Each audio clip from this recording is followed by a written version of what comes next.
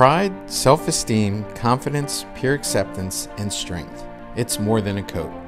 All of these emotions combined are ignited each time a child receives a brand new coat.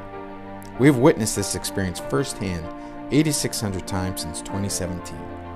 Over the course of time, these emotions across thousands of Delaware children will help strengthen the foundation and the future of our community. In the spirit of tradition and the act of community strong, we invite you to camp out for a coat on Friday, November 19th. Grab your friends, family, and camping gear as we set up camp for our fifth annual Delaware Kids Fund Camping Out for Coats. From our camp headquarters in Newport to backyards everywhere, we ask you to brave the conditions temporarily just for one night. Camping out on a cold night in November represents a commitment to warming up our local children in need. As we continue to navigate through the pandemic, the needs of our local children can easily be overlooked. That need has never been greater than it is right now. We hope you will join us on this inspiring journey to help strengthen our next generation.